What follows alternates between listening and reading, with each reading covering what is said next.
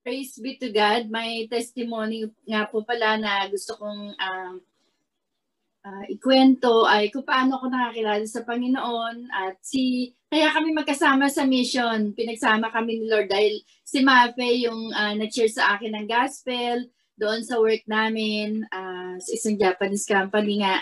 And uh, siya rin yung nag-disciple sa akin. Pero noong uh, maraming Bible study doon sa company, at uh, malago yung gawain. Salamat sa Panginoon. Pero sabi niya nga, uh, tinawag siya ni Lord, pumunta sa Bible school. And then sabi ko, Panginoon, wag mo na ako tawagin doon. Ayoko mag, mag-Bible school o mag full-time.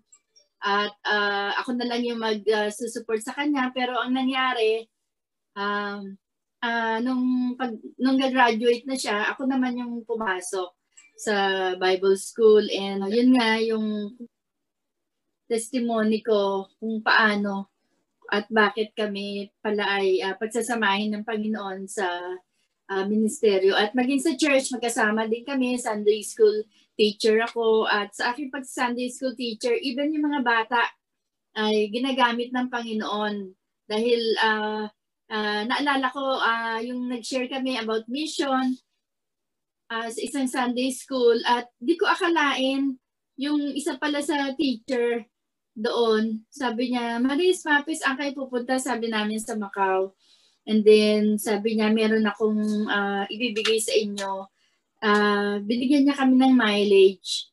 At uh, kaya, nakakatuwa, di ba, na sa paglilingkod dati sa Panginoon, uh, meron pa rin na uh, binibigay na blessing si Lord. At yun nga, paano kami nakapunta sa IT, uh, si Kuya Larry, isa yung church namin, And then, uh, one time nagpunta siya sa church and uh, in-invite niya kami. At sabi ko nga, um, uh, yun na pala na pinakilala kami kay Pastor Gani kasi nagpe-pray kami kung saan ba kami talaga pupunta na um, agency. Maraming mga mission agencies kasi na uh, sa Pilipinas pero saan ba talaga yung tama? And nakakatuwa kasi yung bang na-feel namin yung pagtitiwala agad ni Pastor Gani, even mga uh, nag-aaral kami sa Bible school, walang pera, mga batang-bata pa kami noon. Pero kahit ang galing yung ano, yung encouragement niya sa amin na uh, makakarating kayo doon sa bansa na gusto niyong puntahan. Yun yung isang napakalaking uh, encouragement at yung pananampalataya niya talaga nakita namin at maapektuhan ka eh nung pananampalataya niya once na nagsalita na siya. Kaya hindi lang pala Macau yung aming mapupuntahan kundi uh, sa tulong din ng IT nakarating uh, ako ako sa saan ba? Holland and uh, sa saan ba ba? Marami pa sa Thailand, Singapore. Vietnam, Singapore, uh, sa, sa yeah, Israel, Malaysia. Malaysia. So marami pang mga bansaan, hindi ko na isa-isa. Pero yun nga yung kagandahan talaga na kapag nagkukwento si pastor at uh, andoon ka lang, nakaupo ka lang, sasabi mo, mangyayari kaya to. Pero matutuwa ka dahil pag na-experience mo na yung kinukwento niya, ay uh, yun nga na nangyayari na pala sa iyo yon. So sa akin naman, yung bago ako nag-IT, um, yung nga Sunday school teacher ako, and then sa mission din ako sa church, kaya nag-outreach kami kung saan saan, at um, nagba-Bible study kung saan saan, tapos yung katrabaho ako sa Yasaki, doon sa Japanese company na magkasama kami ni Maris, ay marami rin kami Bible study doon, mga gawain sa biyaya ng Panginoon. Ginamit kami doon. At yun yung masasabi kong ano, mission field ko, first mission field ko sa trabaho na yon And uh, uh, nag-ano rin ako sa junior church namin, uh, workers din ako.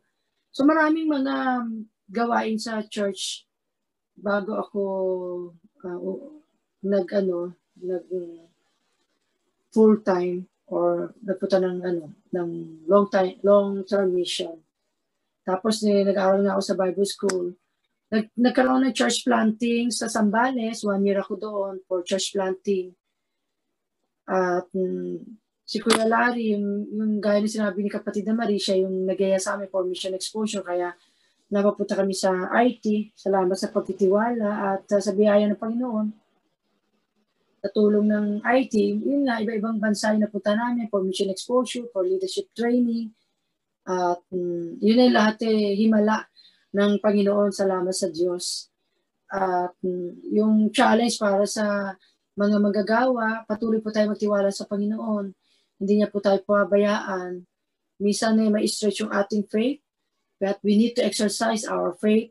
Yung prayer natin, yung devotion natin sa Lord, yung continuous na pag-worship natin sa Kanya, sa mga challenges na ating pong nararanasan ay Lagi lamang po tayo magtiwala sa Panginoon. Hindi niya po tayo pabayaan. He will provide. At um, alam niya po lahat ng ating pangangailangan. So, God is faithful po. Yun po yung naranasan namin. Wherever we go, tapat po siya sa amin na kahit minsan na hindi man kami nagtatapat, pero ang Diyos po kahit kailan ay tapat po sa bawat isa po sa amin. Salamat po sa Panginoon. And we can say, sa biyaya po ng Panginoon, we are the champion. Sa biyaya po ng Panginoon. Praise the Lord. Glory to God. Yan. Nawa po ay uh, napagpala kayo sa uh, yeah, maiksing testimony na ito at maraming marami pa pong uh, yeah, blessings na hindi pa na hindi pa namin masabi lahat-lahat dahil sa oras eh kapraso lang. Pero yun, Nawa po ay mag-bless kayo.